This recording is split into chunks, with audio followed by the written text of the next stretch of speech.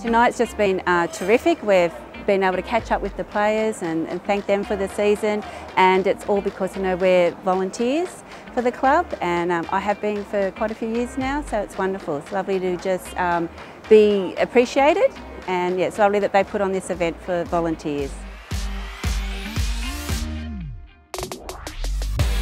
Uh, look, the volunteers are the people that you know you never hear of in terms of when the club's successful, uh, when things are getting uh, run right and done right. Um, these people are the ones that are unseen. So it's good that our club's connected with them. Um, gives us players the opportunity to say thank you. Um, you know, we honestly appreciate what they do for us.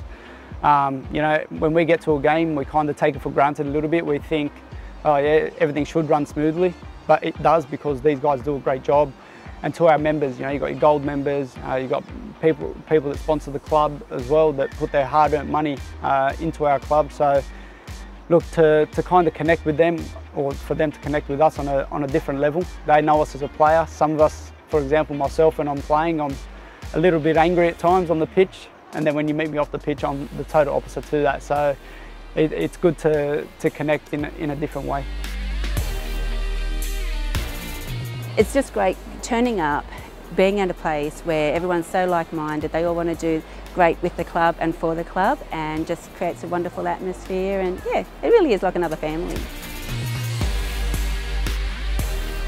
Uh, yes, bring on July, our first game here, so against Leeds. So yeah, it's going to be terrific. I just can't wait to hear the roar of this stadium. So it'll be great to have all the fans here and really pack the place out.